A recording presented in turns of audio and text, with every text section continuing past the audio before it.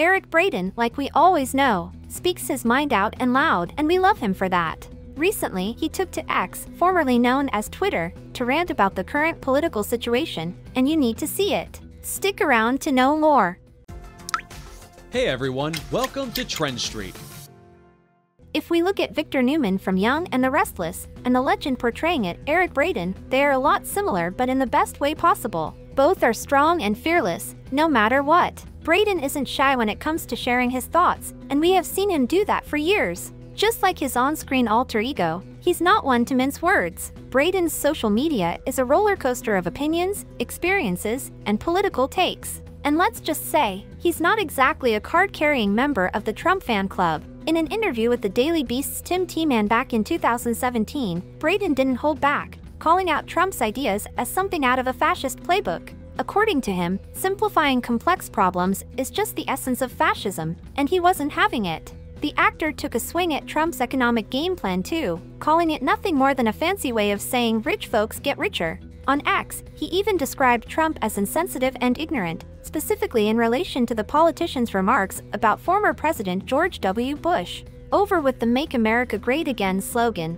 well, Braeden's not having it either. According to him, America is already great. This clown says he is going to make America great again. America is great. I'm an immigrant. I know. It has its faults, but who doesn't? It's always trying to renew itself. Look at what comes out of California. It's one of the most productive states in the world, he said.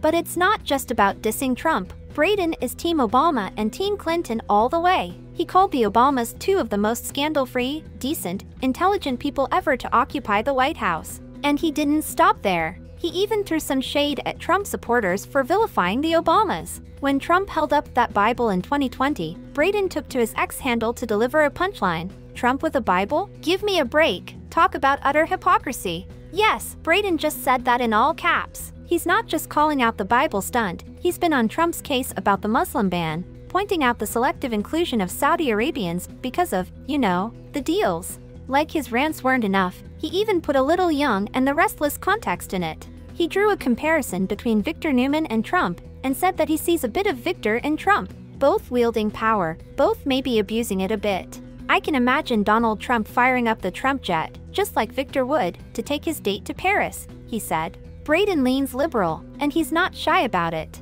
His childhood memories of World War II in Germany have him seeing through the misuse of power, and he's got a presidential wish list that includes boosting Social Security, Medicare, and Medicaid, and pumping cash into infrastructure rather than rich pockets. Sure, not all his fans might be on board with his political playlist, but they respect him for keeping it real. Recently, he even called out some TV personalities for being double-faced. He wrote, all these types who used to call Trump all kinds of pejorative things and were mostly right about it are now falling in line. Ted Cruz, Rubio, Lindsey Graham, etc. And these types are making decisions for all of us? Talk about a party of utter hypocrites. He's also got a bone to pick with media mogul Rupert Murdoch, accusing him of paving the way for Trump to become president. Amidst outpouring his opinions on Trump, Braeden also vocalized his support for Ukraine.